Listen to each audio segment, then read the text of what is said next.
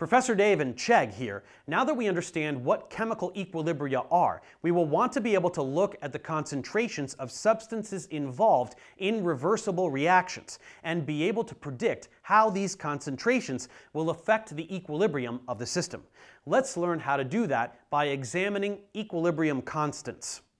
Given this general equation for a chemical equilibrium, we can write something called the reaction quotient expression, symbolized by Q. Q will be equal to the concentrations of the products, each raised to the power of their stoichiometric coefficients, over the concentrations of the reactants, each raised to the power of their stoichiometric coefficients.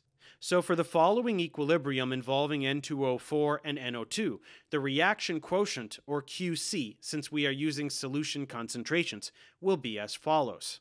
Note that NO2 concentration is squared because of the coefficient of 2 from the equilibrium.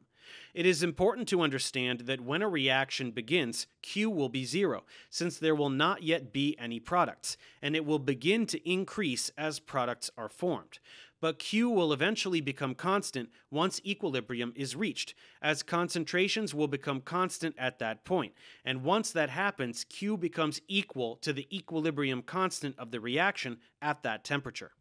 This is symbolized as Kc, and the equilibrium constant expression takes the same form as the reaction quotient expression, except that it is a constant value, since it is derived from constant concentrations. We should be able to calculate either QC or KC for any set of concentrations. We simply plug them into the reaction quotient expression.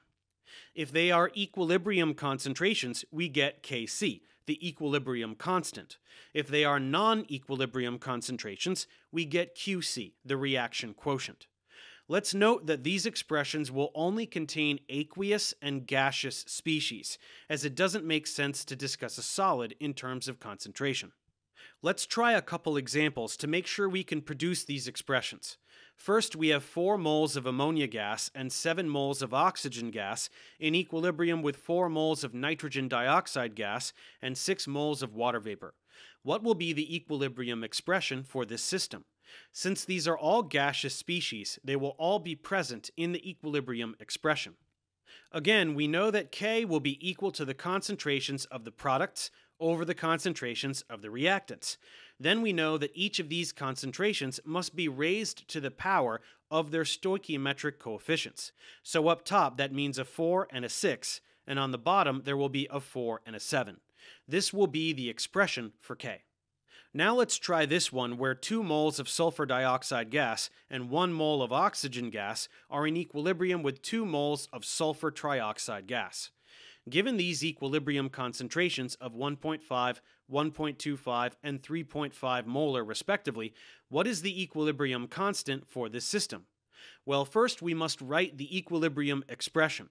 That will involve SO3 concentration squared up top over SO2 concentration squared times O2 concentration.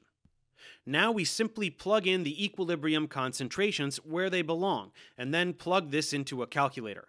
4.36 is what we should get, and this will be a unitless value. So we now know what equilibria are, and we understand the relationship between the reaction quotient Q and the equilibrium constant K, as well as how to generate the expressions for Q and K. Additionally, we should be able to calculate Q or K given an equilibrium and all the relevant equilibrium or non-equilibrium concentrations. Professor Dave for Chegg. See you next time.